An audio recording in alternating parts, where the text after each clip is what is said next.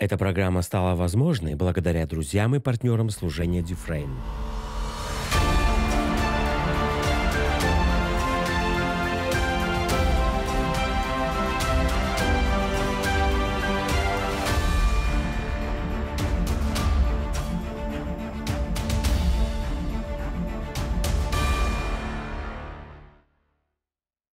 Добро пожаловать на программу «Иисус Целитель». С вами пастор Нэнси Дюфрейн, и я очень рада, что мы проведем это время вместе. Обычно мы служим в нашей церкви, но сейчас у нас появилась возможность приехать на мое ранчо в штате Колорадо, и мы захотели взять вас с собой.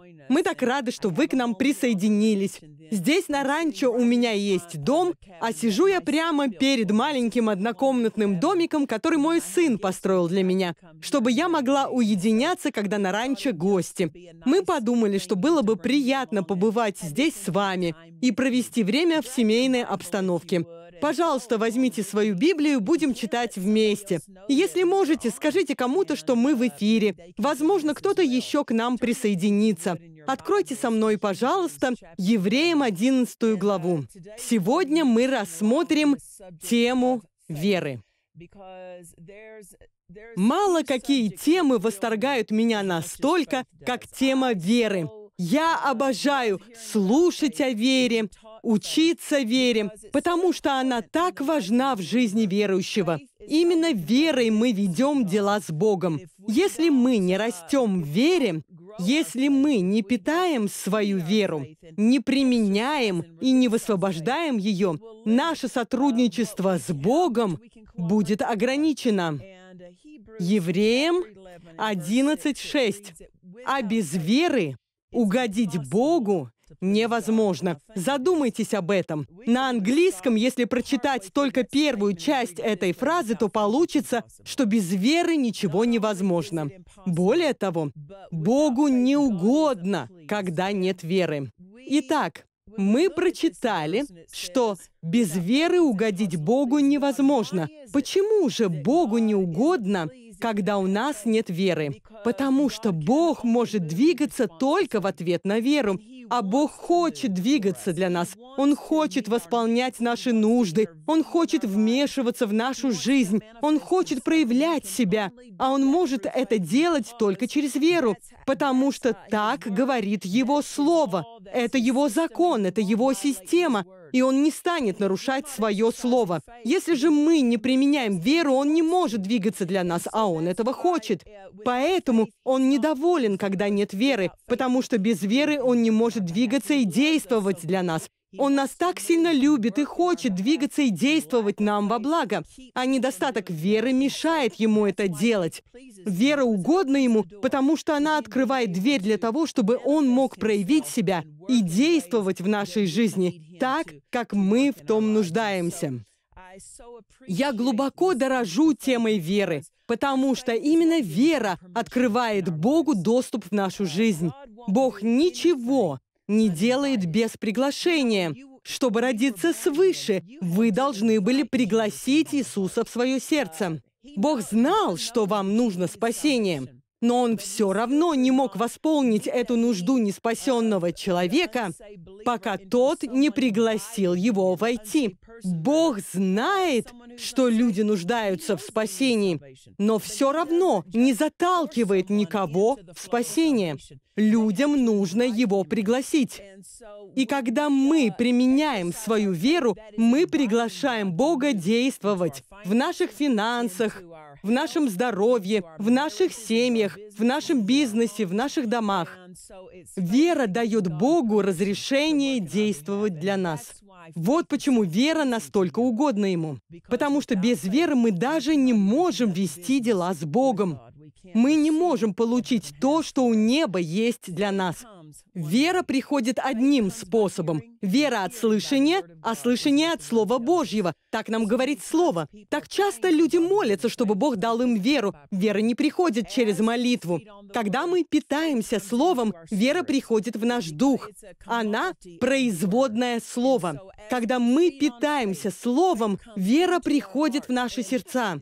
Но из-за того, что вера приходит от слышания, не допустите ошибку, думая, что вера и высвобождается через слышание. Вера приходит от слышания, но вера не высвобождается через слышание. Вера высвобождается через то, что мы говорим, и то, что мы делаем. У нас может быть сердце полное веры, но если мы никогда не высвобождаем свою веру, она никогда не принесет нам пользы. Потому нам так важно не только получить веру и питать свою веру, но также высвобождать веру. Потому что именно тогда мы увидим Божье движение в нашей жизни. Вера приходит от слышания, но вера не высвобождается через слышание. Она высвобождается, когда мы говорим и действуем по Слову.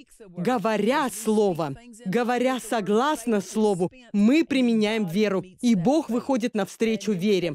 И когда мы действуем по Слову, Бог выходит навстречу этим действиям веры. Его сила выходит навстречу действиям веры. Если вы верите Богу о финансах, вы можете питаться Словом от Бога, что Он восполнит всякую нужду вашу. Но недостаточно просто верить в это. Нужно это говорить. И когда мы каждый день говорим, «Бог мой восполнит всякую нужду мою по богатству своему в славе Христом Иисусом», когда мы говорим Слово, вера высвобождается, и Бог способен восполнить наши нужды. Мы сегодня рассмотрим несколько действий, связанных с верой. Во-первых, когда в вашем сердце есть вера, вам нужно ее высвободить. Это первое. После того, как вы получили в сердце веру через питание Словом, эту веру необходимо высвободить. Вот что такое верить. Когда вы верите Богу, вы высвобождаете свою веру. Высвободив же веру, вам нужно подвязаться добрым подвигом веры. Что это значит? Твердо стоять на своем. Потому что после высвобождения веры часто проходит какое-то время, прежде чем то, о чем вы верите, проявится. Итак, вот вы высвобождаете веру, и вот время проявления ответа. Что же вы будете делать в промежуточный период? Высвободив веру, нужно до проявления ответа подвязаться добрым подвигом веры, твердо стоять на своем. Что такое подвязаться добрым подвигом веры? Это значит не переставать высвобождать свою веру, говорить слова, которые позволят Богу продолжить двигаться.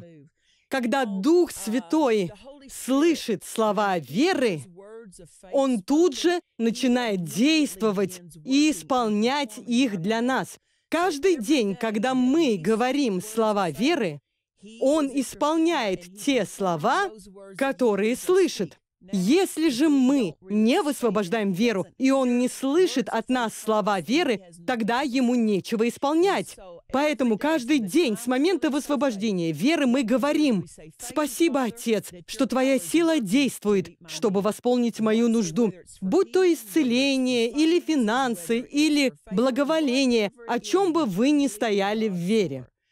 С того самого момента, как вы высвободили свою веру и до проявления ответа говорите «Спасибо, Отец, что Твоя сила работает, чтобы проявить мой ответ». Так поступая, вы высвобождаете веру.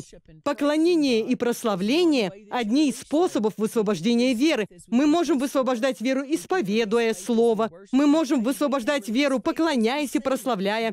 Мы можем высвобождать веру, когда поем песни хвалы Богу. Нам нужно прилагать осознанные усилия каждый день, чтобы высвобождать веру. Доктор Лестер Саммерл, драгоценный муж Божий, который много лет был нашим пастором, говорил, вера должна возрождаться каждый день. То есть мы не можем жить только за счет веры, которую мы высвободили вчера. Нам нужно высвобождать веру каждый день, питать ее и высвобождать ее. Итак, помолившись, и высвободив веру, чтобы Бог восполнил нашу нужду, мы затем продолжаем выражать и высвобождать свою веру, поклоняясь, прославляя и благодаря Бога за ответ, который в пути. С момента, когда вы в первый раз высвобождаете свою веру, до момента проявления ответа, враг активно действует против вашей веры. Он пытается вас поколебать, сдвинуть вас с того, о чем вы высвободили свою веру. И он забрасывает ваш ум самыми разными обвинениями. Он обвиняет вас в том, что вашей веры недостаточно, в том, что ничего не исполнится. Он приводит вам на ум других людей, других христиан, которые не получили ответ. Это не имеет никакого отношения к вам и Богу. Итак, дьявол использует все, что только может. Он использует все возможные стратегии против вашего ума. Знаете, в уме веры нет, вера в сердце, поэтому не позвольте дьявольским обвинениям, атакующим ваш ум, заставить вас отбросить уверенность вашей сердечной веры. Стоя на своем, ожидая проявления ответа, вам придется подвязаться добрым подвигом веры. Как? Говорите слово.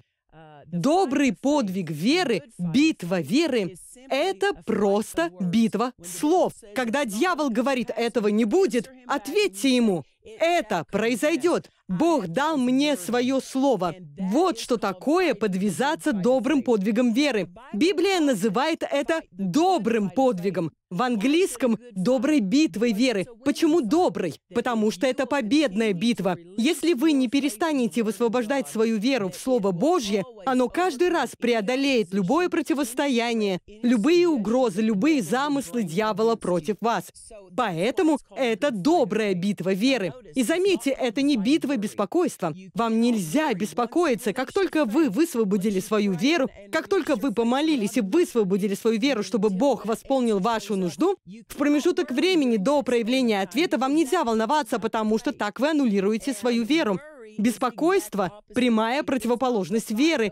Не подвязайтесь подвигом беспокойства. Возникнет ли соблазн беспокоиться? Конечно. Что же делать? Подвязаться добрым подвигом веры, отвечая этому беспокойству. Дьявол, я отказываюсь беспокоиться. Я отказываюсь волноваться, Бог действует для меня. Просто оставайтесь в потоке веры, и слова веры помогут вам сохранить мышление веры.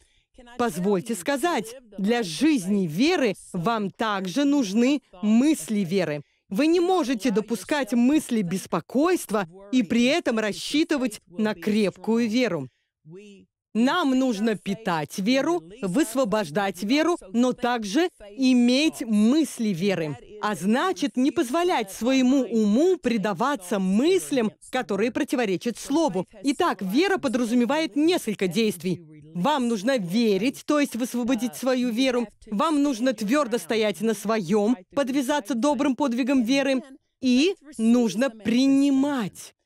Когда сила приходит, ее нужно принять. Если мы беспокоимся или сомневаемся, мы не способны принять эту силу. Но когда сила приходит, нам нужно ее принять и благодарить за нее Бога.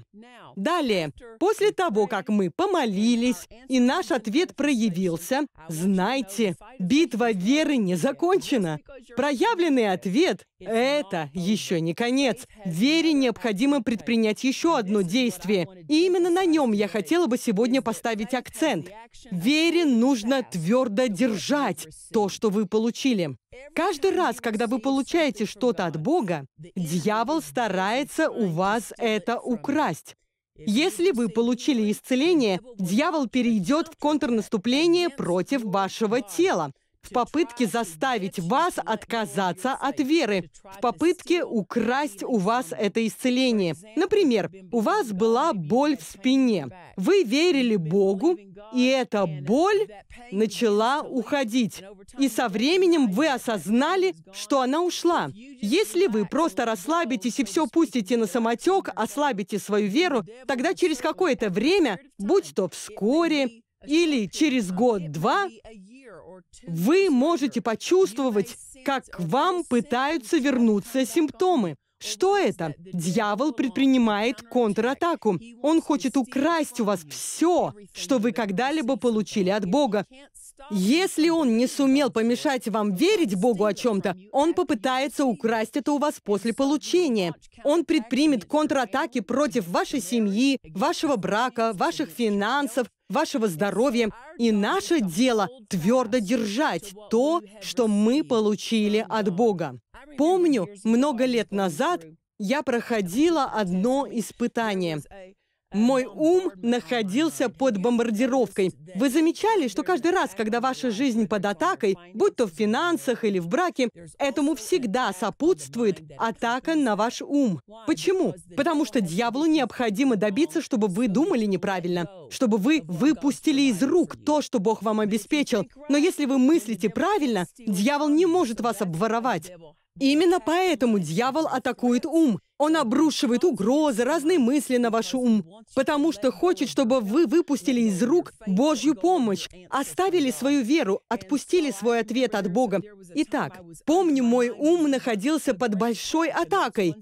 И это одна из стратегий дьявола. Это было лет 30 назад. Я не так давно уверовала, у меня не было большого опыта. Помню, я встала посреди ночи, так как не могла нормально спать. Отдых давался мне нелегко. И вот посреди ночи я сидела в кресле на первом этаже и разговаривала с Богом. Мой муж проснулся и спустился ко мне. Я сказала, дорогой, возложи на меня руки и помолись, потому что мне хотелось какого-то облегчения посреди этой атаки на мой ум. Он возложил на меня руки, помолился и ушел. Когда он ушел, Дух Божий сказал мне кое-что. И это было обличение. Он сказал, если ты будешь верить всему, что тебе говорит дьявол, он украдет у тебя все, чем я когда-либо тебя благословлял. Слушайтесь, если ты будешь верить всему, что тебе говорит дьявол, он украдет у тебя все, чем я когда-либо тебя благословлял. Бог дал мне понять, Твоя проблема не в том, что дьявол тебя атакует. Твоя проблема в том, что ты веришь тому, что он говорит. Это застало меня врасплох. Я подумала, вот тена, я под атакой, и меня же еще и обличают. Ну, к счастью, Бог пытался мне помочь. Он дал мне понять, что проблема была не в том, что дьявол противостоял мне, а в том, что я верила ему, вынашивала его мысли, думала о его угрозах. Итак, всякий раз, когда вы получаете ответ ответ от Бога, я гарантирую вам, дьявол переходит в контрнаступление и начинает угрожать вам, говоря, ты потеряешь дом, который Бог дал тебе, ты потеряешь эту работу, этот бизнес, который ты начал. Он предпринимает контратаки. Наше дело не верить ему. Нам нужно твердо держаться того, что говорит Слово, держаться веры, чтобы дьявол не украл у нас то, чем Бог нас благословил. Я скажу так, сильная вера, библейская вера, заинтересована не только в том, чтобы получить ответ. Библейская вера также заинтересована в том, чтобы удержать все, что вы получили от Бога. Библейская вера не сдается дьяволу не капитулирует перед дьяволом и его попытками обворовать вашу жизнь. Все, что вы получаете от Бога, дьявол хочет забрать из вашей жизни. Просто знайте это. И когда вы твердо держитесь, вы таким образом отказываетесь позволить дьяволу украсть то, что вы получили от Бога.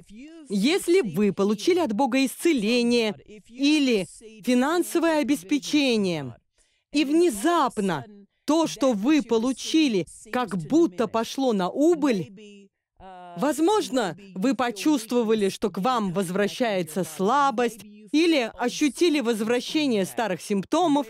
В чем причина утечки? Что привело к видимому уменьшению того, что вы получили?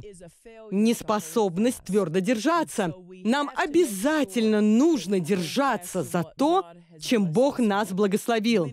Когда мы получаем что-то от Бога, оно не сохраняется автоматически. От нас требуется твердо держать то, что мы получили. Откройте со мной, пожалуйста, Евреям 1.1. Здесь сказано, Бог, многократно и многообразно говоривший издревле отцам в пророках, в последние дни сии говорил нам в Сыне, которого поставил наследником всего, через которого и веки сотворил. Сей, речь идет об Иисусе, будучи сияние славы и образ ипостаси Его, и, послушайте, держа все словом силы своей, Обратите внимание на эту фразу. Бог держит все словом силы своей. Что Он держит? Ну, прямо перед этим говорится, что Он веки или миры сотворил. Бог не просто сотворил весь мир и ушел, оставив свое творение. Он держит его словом силы своей. Что это значит? Он твердо держит все, что он сотворил. Он крепко держит все, чтобы оно было на должном месте и в исправном состоянии. Задумайтесь о Солнечной системе, которую он создал. Только представьте, что было бы, если бы хотя бы одна планета сошла с правильной орбиты. Это привело бы к катастрофе Солнечной системы. Почему все продолжает работать? Потому что Бог не только все сотворил, но слово силы Его продолжает держать все, что Он сотворил на своем месте. Отсюда мы видим, как ведет себя Бог, как Он обращается с тем, что Он сотворил. Он постоянно присматривает за всем. Он крепко держит все чтобы ничто не убывало, не уменьшалось, а оставалось в полной исправности. Именно это призвана делать наша вера. Когда мы получаем что-то от Бога, нам нужно крепко держать, удерживать то, что мы получили от Него. А делаем мы это, твердо держась за Слово. Многим из вас известно свидетельство Кеннета Хейгена. Я так часто ссылаюсь на папу Хейгена, потому что он наш духовный отец. Перед тем, как уйти на небо, он многие годы был нашим духовным отцом. Мы столькому научились на опыте одержанных им побед, и я пересказываю некоторые из них, потому что они проливают свет на разные темы. Папа Хейген родился недоношенным. И из-за этого его сердце так и не развилось правильно, и органы грудной клетки были деформированы. У него была болезнь крови. Все детство он был болезненным ребенком. Когда ему исполнилось 15, он уже был прикован к постели. И врачи говорили, что в его состоянии никто никогда не жил дольше 15 лет. Итак, когда ему исполнилось 15, он уже был прикован к постели. И именно в этой постели он родился свыше. 15-летний парень родился свыше, и его величайшим желанием было исцеление. И он начал питаться Словом, он начал читать Слово. И он наткнулся на Марка 11.24. «Все, чего не будете просить в молитве, верьте, что получите, и будет вам». Он начал пребывать в этом слове. Он жил этим стихом днями напролет, день за днем, пока это слово не сделалось частью его. И в течение 16 месяцев он питался словом, размышлял о слове, он начал говорить слово. Сокращая длинную историю, к концу этих 16 месяцев он был сверхъестественно поднят со смертного одра. Его сердце исцелилось, он был парализован, и паралич оставил его. Он был исцелен от болезни крови, он был полностью поднят со смертного одра.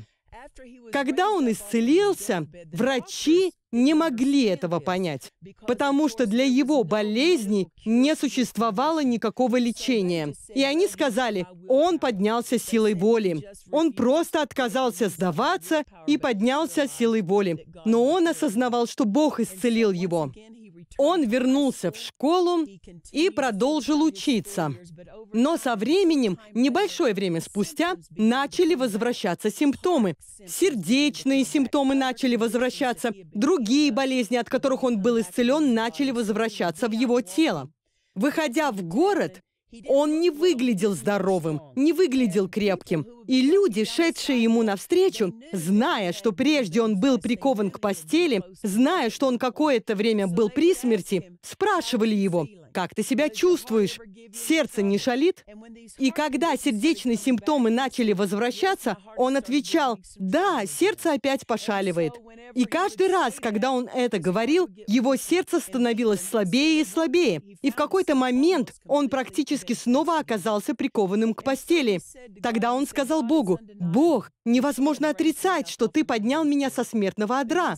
Но вот, ко мне возвращаются сердечные симптомы».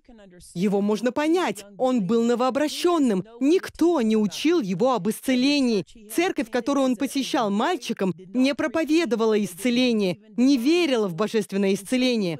Он верил совершенно самостоятельно и не знал, в чем была проблема. И он нашел стих, который я хочу вам прочитать. 1 Фессалоникийцам 5, 21. Прочитайте, пожалуйста, вместе со мной.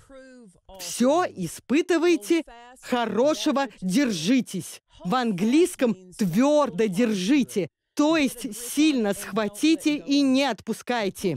Представьте себе два ребенка. Вы когда-нибудь такое видели? У одного карапуза в руках игрушка, а другой тоже ее хочет. И тот первый ребенок держит игрушку изо всех сил. Именно так вам нужно вести себя с тем, что вы получили от Бога. Дьявол хочет украсть это у вас. Как же удержать это? Вы получаете веру через слышание Слова Божьего. И вам нужно продолжать слышать Слово Божье, чтобы питать свою веру и укреплять ее. Когда вы постоянно слышите Слово Божье снова и снова и снова, оно укрепляет вашу веру, и вы способны твердо держаться. Я научилась вот чему. Всякий раз, когда мы перестаем отстаивать свои позиции по слову, это происходит из-за того, что мы перестаем слышать столько, сколько нам необходимо слышать. Получив свой ответ от Бога, ни в коем случае не переставайте слышать Слово. Нам нужно продолжать слышать, чтобы продолжать твердо держаться за то, что мы получили. И именно этому научился Папа Хеген. Он научился держаться одного исповедания и при контратаке не менять своих слов, не менять того, во что он верил, но продолжать говорить «Я верю, что я исцелен». И благодаря этому сила исцеления смогла продолжить действовать в его теле, и атаки врага были остановлены. Знайте, Божье благословение и благо для вашей жизни щедры и многочисленны, но дьявол хочет помешать вам их получить. Или же украсть полученное. Не дайте украсть ничего из того, что вы получили от Бога. Надеюсь, сегодняшнее учение вам помогло, послужило для вас наставлением и ободрением. Мы так рады, что вы были с нами на программе «Иисус Целитель». До новых встреч! Бог да благословит вас! Мы надеемся, вам понравилась сегодняшняя программа. Посетите наш сайт dufresneministries.org, чтобы узнать о ближайших собраниях, поделиться своим свидетельством или обратиться с молитвенной просьбой. Эта программа стала возможной благодаря друзьям и партнерам служения Дюфрейн –